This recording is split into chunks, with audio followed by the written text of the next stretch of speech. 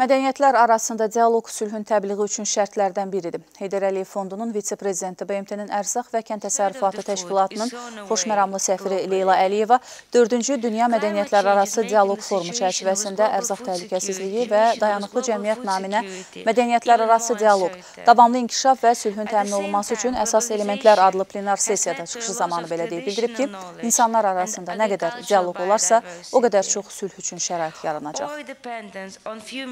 Mədəniyyətlər arası mübadilələr ümumi məqsədlərimizə nail olmaqda yeni innovativ yolların tətbiqini şərtləndirir. Yoxsulluq və aclığı aradan qaldırmaqla sülhsevər inklüziv cəmiyyətə nail ola bilərik.